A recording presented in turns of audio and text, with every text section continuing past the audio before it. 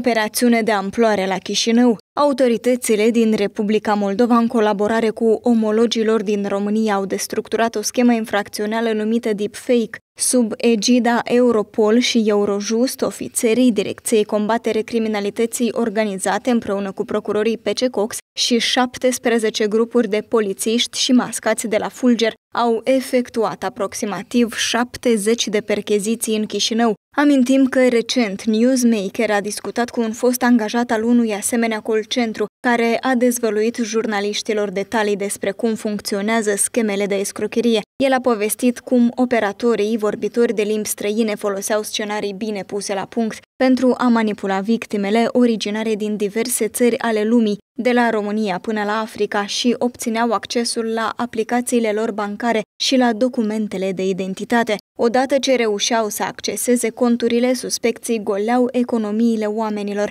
iar în birourile din Chișinău, succesul era sărbătorit cu sunet de clopot și aplauze. Tânărul a adunat probe și a sesizat autoritățile, dar acum se teme pentru propria viață, după ce a fost amenințat și chiar agresat în stradă. În urma operațiunii, circa 15 persoane au fost reținute, iar prejudiciul cauzat de activitatea acestora este estimat la peste 2 milioane de euro. Poliția a descoperit cel puțin șase colcentre implicate în asemenea escrocherii. Acțiunile de urmărire penală continuă, autoritățile desfășurând noi percheziții în cadrul operațiunii Deepfake.